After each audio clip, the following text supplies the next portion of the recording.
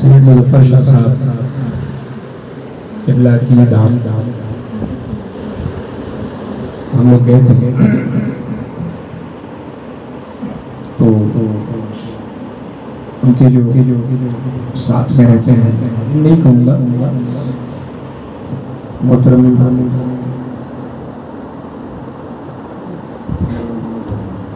हनीफ मारफानी साहब।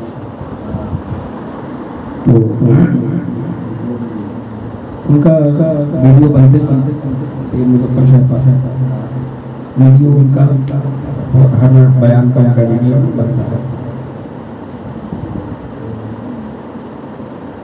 तो वहाँ पर भी पूरा सेटअप लगा हुआ था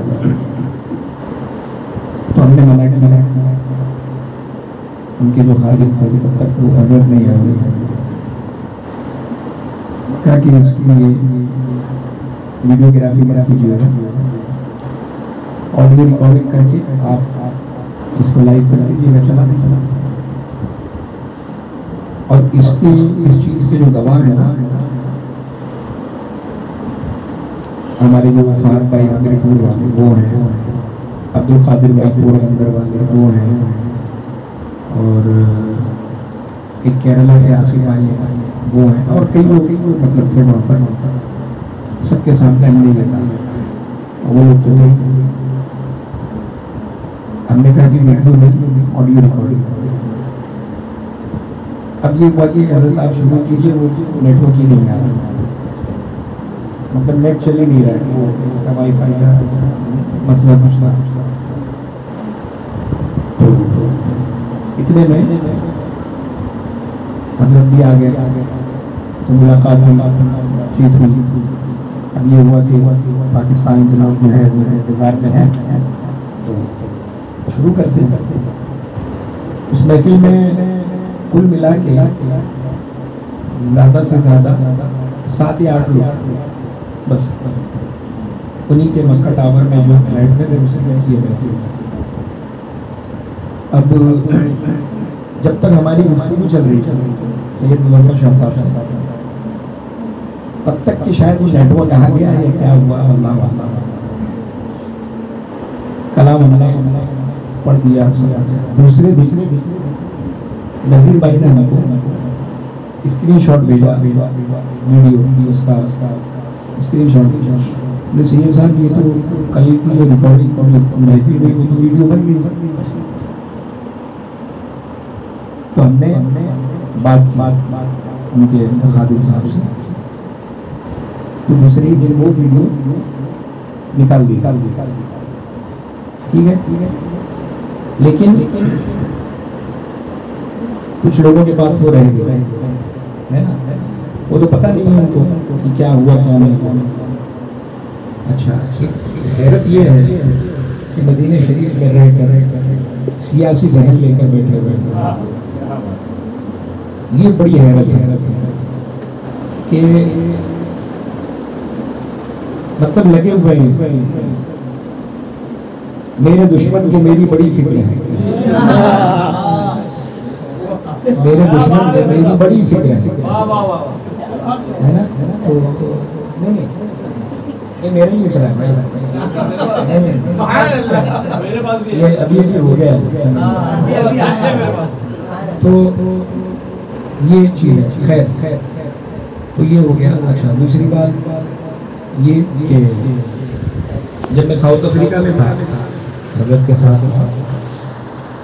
तो हमारी कुछ बात इस पर हुई थी।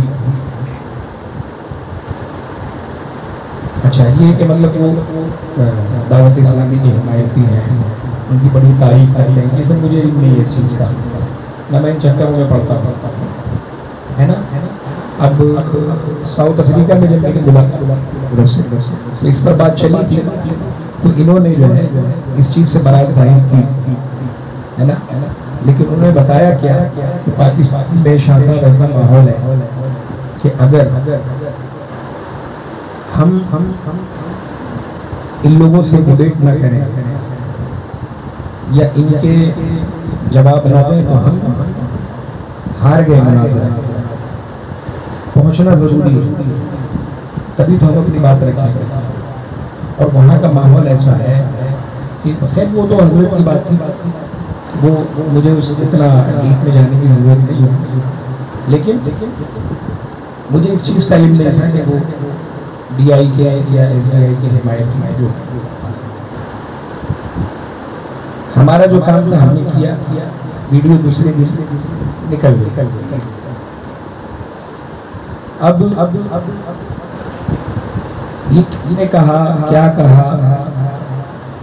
ये भी मुझे पता नहीं। लेकिन पता चला चला चला जिससे तो मेरे समझ में जो आ रहा कि किसने कहा होगा, या क्या कहा होगा। अल्लाह ने समझ की तोफीक दे, नेक हिदायत दे, है ना?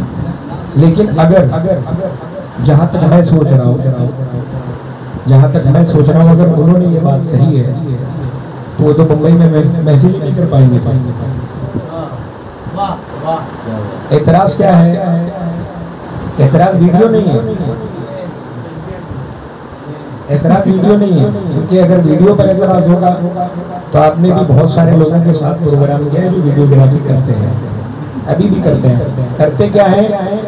लेके साथ में घूमते हैं, उनके साथ भी प्रोग्राम किया है। एक तो ये दूसरा कहिला कहेगा कि हम तो हिमायतियों के साथ में प्रोग्राम नहीं करते तो मैं कितने पोस्टर दिखाऊँ? कि आपने भी एस डी आई और डी आई की हिमायत के साथ प्रोग्राम किया? कर रहे हाँ। है? हमारा तो ये दो तीन साल बाद गए तो सैयद साहब के साथ हो गया। वरना हमारे साथ बताइए कि हम हिंदी के साथ करते हैं। हमें इस चीज़ का नहीं है। आपको तो इल्म है। हाँ मालूम है और फिर यानी नंगा कह रहा है कि मेरे बाल का बटन लगा दो।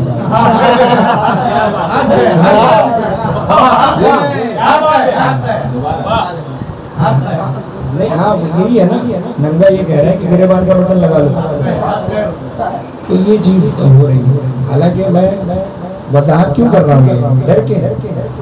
मैं जूतियों की नोक पे होता हूँ। मैं नहीं करता सिर्फ़ इसलिए कि जिन्होंने मुझसे कहा, वो मुझे बहुत चाहते हैं और मैं उनको बहुत चाहता हूँ। और उन्होंने ये हुक्म दिया था कि हज़रत इसकी वजाहत कर दें ताकि बाकी मुझे ना, किसी का डर और खौफ है नहीं, किसी का बाप नहीं खिलाता मैं अपना बिल मैं खुद भरता हूँ। हाँ। तो ये चीज़ है। खैर खैर कभी भी दुआ करता हूँ कि अल्लाह जो है, नेक तौफीक अल्हम्दुलिल्लाह। मैं जो है, खैर तो तो अल्लाह ताला देख समझ की तौफीक दे। और, कुछ कहने से पहले जो है ना, एतराज़ करने से पहले सोचना चाहिए कि हम बोले कि ना बोले। है कि नहीं? अब जो आप बोल रहे हो, उसमें मुल्क भी सवाल अब ये जो है ना मेरा गुमान है अल्लाह मुझे इससे महफूज रखे। मैं एकदम जो है ये नहीं कह रहा हूँ लेकिन 80 परसेंट मेरा जो शक है वो वो जहाँ पर है मैं वही कह रहा हूँ आप समझ गए मुझे नाम लेने की भी ज़रूरत नहीं है आप लोग तो समझ गए हमारे हाँ तो अब सलाम पढ़ाया जाए जावेद भाई। है ना? सलाम